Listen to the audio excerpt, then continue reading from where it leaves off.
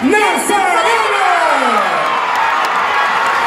La virreina es la María.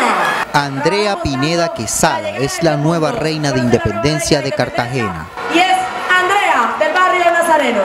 La representante del barrio El Nazareno fue escogida por el jurado entre 28 candidatas que durante dos meses compitieron por el título de la más bella de la ciudad. De Cartagena. Muestra aquí la cámara.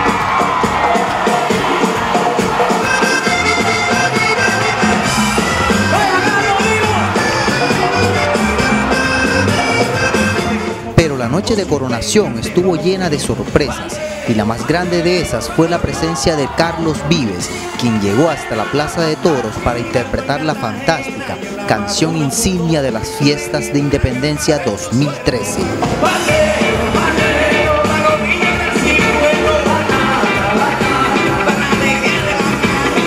Carlos, esta noche de fiesta y holgorio, te declaramos hijo adoptivo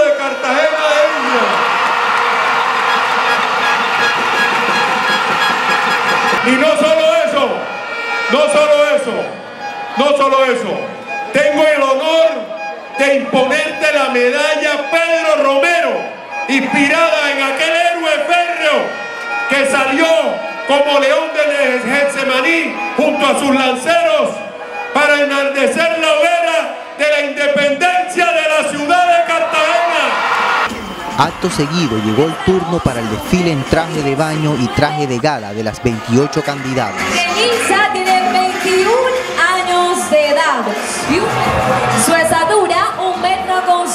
70 centímetros.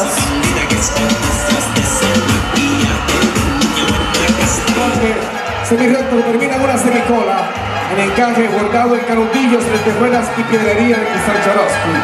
Para Su está elaborado en chantilly plata. El jurado seleccionó el grupo de las 10 semifinalistas en las que se encontraban las representantes de los barrios Canapote, Daniel Lemetre, La María, El Pozón, Sector 20 de Enero, El Nazareno, Nelson Mandela, La Quinta, Luis Carlos Galán, 13 de junio y Paseo de Bolívar. Después de la votación, el jurado se decidió por Andrea Pineda Quesada como la nueva reina de independencia 2013-2014. Se perfiló como la nueva reina de independencia. Y Muchísimas gracias. Como virreina fue escogida la representante del barrio La María, Elianis del Carmen Cortés. Las princesas fueron en su orden Nelson Mandela, Eliana Melisa Vargas, Daniel Levetre, Yenitza Lucía Galeano y 13 de junio Catherine Esther Fonseca. Vamos a poner el momento. La nueva reina de los cartageneros tiene 21 años, mide 1,75 centímetros de estatura y es estudiante de logística empresarial en el SENA. Recibiendo la corona